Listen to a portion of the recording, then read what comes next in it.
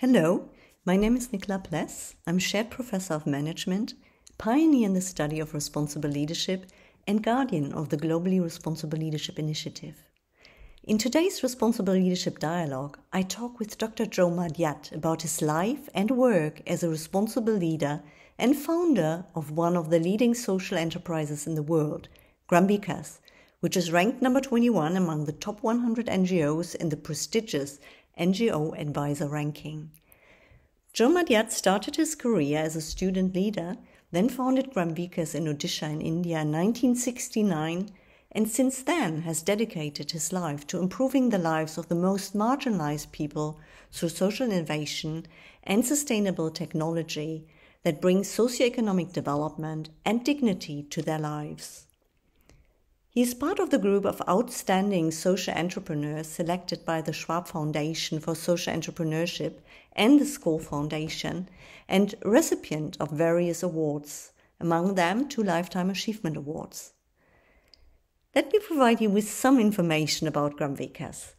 Gramvikas is a social enterprise, more precisely, a village development organization that partners with rural communities to enable people to lead a dignified life. They achieve that by building capabilities in the communities, strengthening community institutions, and mobilizing resources to respond to the needs of community members.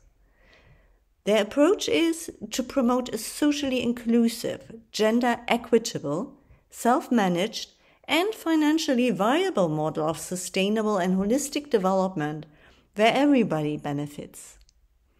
Now, what is Gramvika's impact? Well, the organization has impacted over 600,000 individuals in 1,700 villages through its various programs and interventions. Let me share three examples. First, they equipped 54,000 families with renewable sources for cooking. Second, they pioneered the use of renewable energy technologies and constructed more than 54,000 biogas plants. And third, they developed an award winning water and sanitation program that equipped 100,000 households with three taps of running water and achieved an 85% reduction in waterborne diseases. Also, they have trained other like minded organizations across India to replicate the Gram Vikas model of development and recently started their international expansion to Africa, working in Gambia and Tanzania. So, let's start the conversation. Welcome, Joe, to this interview. Thank you for making yourself available. What do you see as the main purpose of your organization? The main purpose of Gram Vikas is to be relevant to the context of today. To see that Gram Vikas as an organization is playing a role in alleviating their sufferings, in improving the quality of life, in improving their livelihoods, and in every way playing a role that nobody else would be playing. What inspired you to create Gram Vikas in the first place? I always used to get my kicks out of doing something which was relevant to the people living in very remote areas, people living in abject poverty, people li- living on the margins, especially people who were the scheduled castes, that means erstwhile untouchables, and the indigenous people. So I found that these are the most uncared for marginalized people, and I thought I would gain something. I, I would gain a lot of self satisfaction in working with these people. Now, 37 years ago, has there been a shift in priorities that you have been sitting, setting from the start, or Is that something where you had the big idea in the beginning and then implemented it, or was the vision that you had for the organization emerging throughout time? Things have evolved. We, I, or anyone else had not seen, okay, this is what is important, say, when we started in 71 as an organization, which was the precursor to Gram Vikas, which is Young Students Movement for Development, or in 79 when we started Gram Vikas. We had not seen that we would be working in this way, but we had said we would be relevant to the area we work, relevant to the relevant to the people. And so when we felt that working in the area of rescuing the people, the tribal people or the indigenous people from money lenders, liquor merchants, that was something we did very effectively. Then, when we were in the area of renewable energy, mostly building biogas, I think we were the best agency in the world building that. and now, building or working with people in the area of water and sanitation also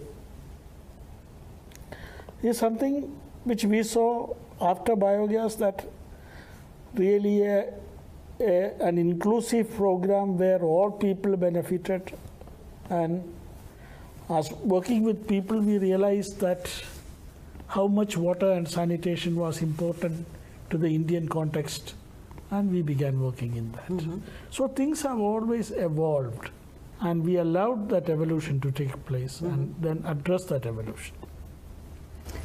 So you're a social entrepreneur, a thought leader, and a leader of an organization pursuing a completely new approach to community development. The system that you have developed is unique. Vika's approach lies in this combination, I think, of technological innovation, training for people to help themselves, and to install governance and leadership structures like the village executive committee based on the democratic principle of 100% inclusion. And this ensures sustainability of facilities, of resources, as well as equality. Now, you have developed an approach called mantra, which underlies all of that, which is a very big innovation. Could you explain that? Mantra stands for Movement and Action Network for Transformation of Rural Areas. And so we are looking at transformation. So, and mantra is essentially a water and sanitation program for dignified living. Other ways of increasing their dignity and livelihood. So, in mantra, any village which buys in or signs up for mantra, they 100% of the families of that village will have to agree that they will participate in the whole program. Once they agree to that, as a sign that they have agreed, they will collect a thousand rupees on an average to make a corpus fund and this thousand rupees is only on an average. The poorer family is giving less and the better off family is giving more, but ultimately it is a thousand rupees per family. This is deposited in a bank and the principal of this amount cannot be touched. But the interest can be used for newer houses that come into the village to meet their social costs. But toilets are built by the villagers themselves. So the, in this village, people who are daily wage earners, unskilled labor, we give them an opportunity to become to learn masonry and plumbing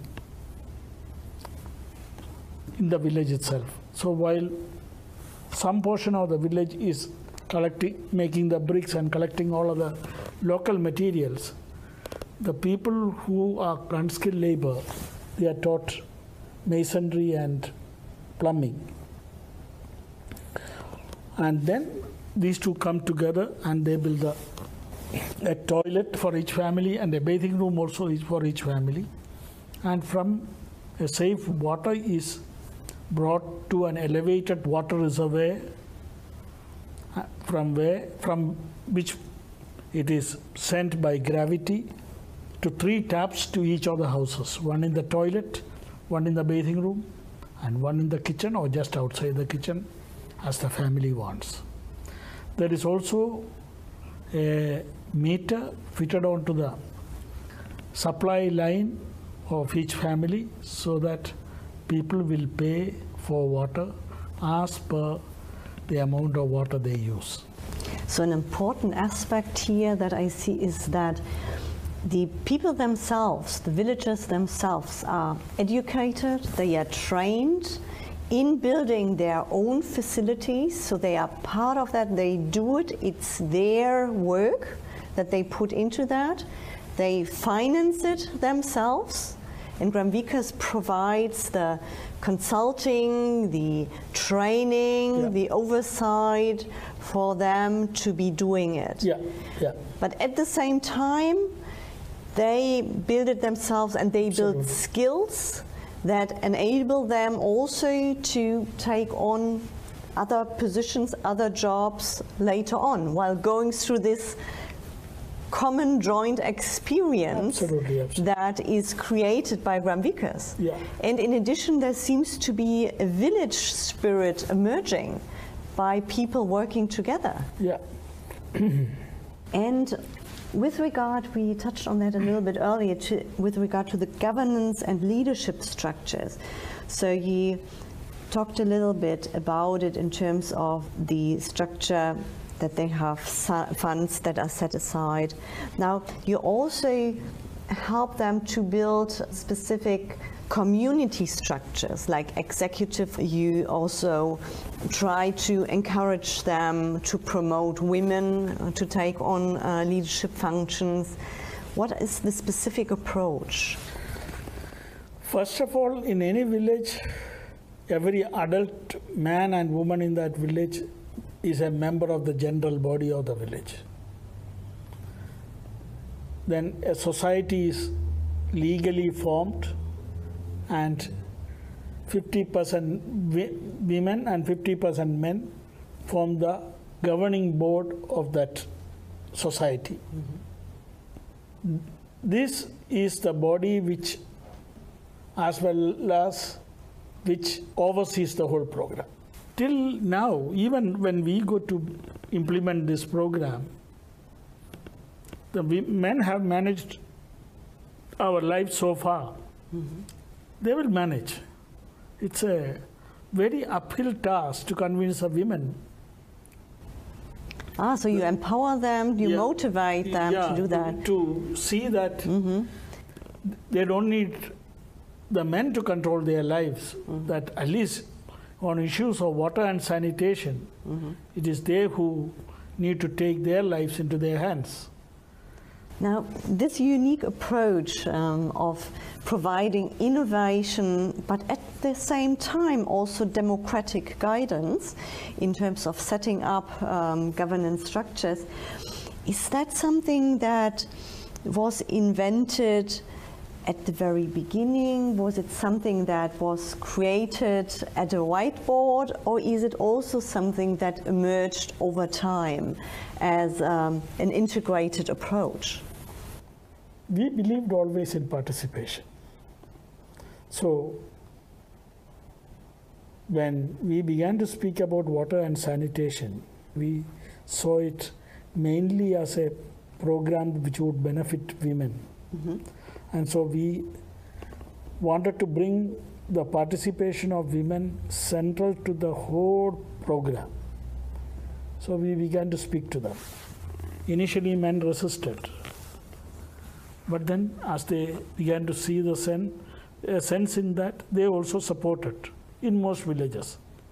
In other villages, we had to whittle down their resistance and say this was the norm for us to work under. So, these were all battles, very small battles won to win the war. Yeah.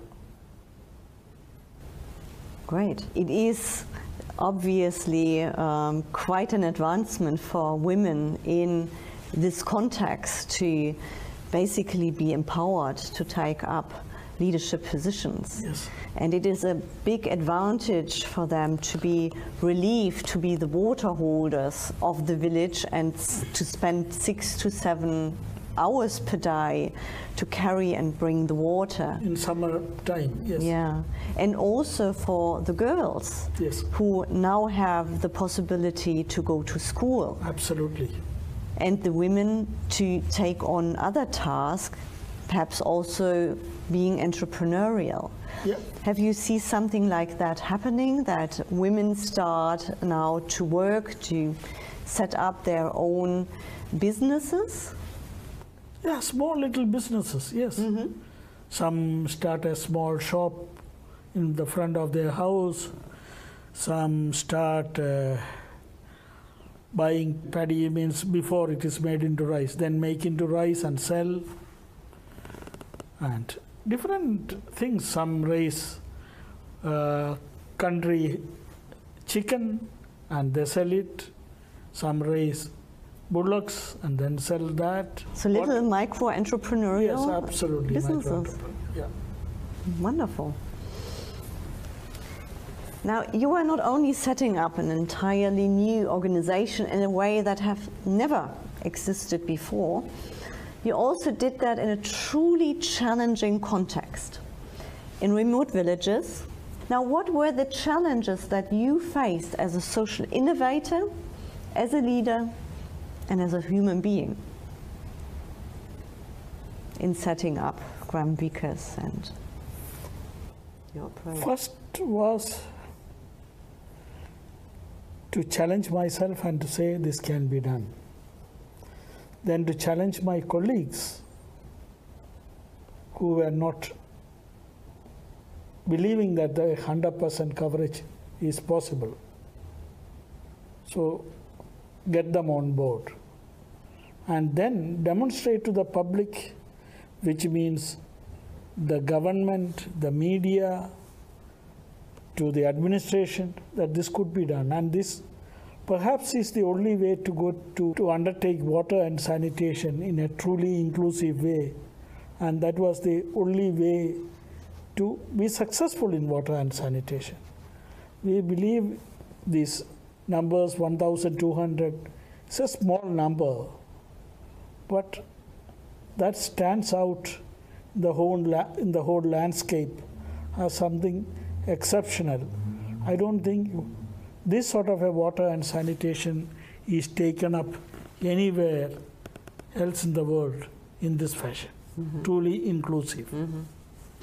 Wonderful. All the best of luck for the future of Gram Vikas and for our hopefully continued collaboration. Thank you. Thank, you. Thank you very much, Joe. Yeah. It was a pleasure. Thank you.